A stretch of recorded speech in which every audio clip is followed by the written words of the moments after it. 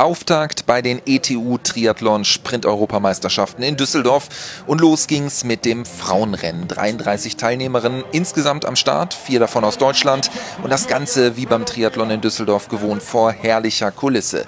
750 Meter Schwimmen zum Auftakt im Medienhafen, dort wo die Zuschauer den besten Blick auf die Sportlerinnen haben und das Renngeschehen bestens mitverfolgen können.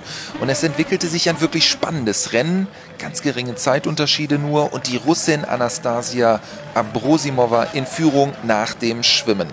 Aber auf der 20 Kilometer langen Radstrecke schob sich das Feld schnell wieder zusammen. Mit Vollgas ging es raus mit einer großen Spitzengruppe auf den Rundkurs. Genau beobachtet vom Oberbürgermeister der Sportstadt Düsseldorf, Thomas Geisel. Und der sah, wie sich eine der Favoritinnen auf dem Rad in Führung schob.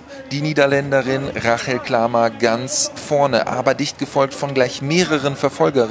Mit dabei auch Laura Lindemann, die Deutsche hier an Position 4 mit Medaillenhoffnungen an den Start gegangen mit der weißen Schirmmütze.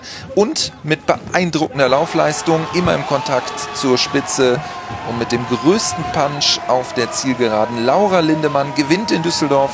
Silber für Jolanda Annen aus der Schweiz.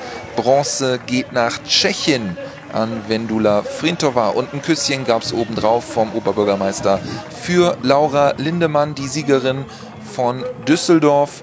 Die U23 Weltmeisterin hier bei der Siegerehrung ist die neue Europameisterin.